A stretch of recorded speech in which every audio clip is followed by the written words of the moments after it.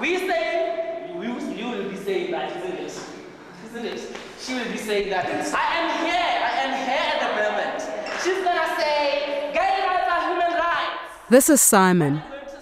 That's me. I really loved him. Sometimes I hated him. He changed my life.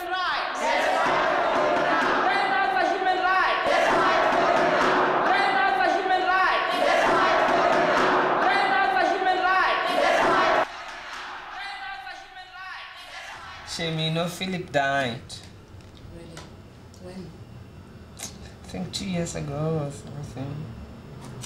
Lost a lot of people. Ooh, and, you know, one day I'm not gonna go to the march because of all these people that have gone and This is the last time Simon and I were together. we, we met him. Yeah, he He- was one of the big um, organizers. He died of AIDS complications a week later.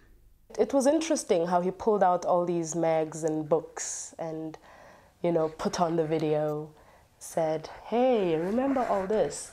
It, it, it, even for me, it felt like, oh, wow, you know, because these are th- some of the things I tried to forget.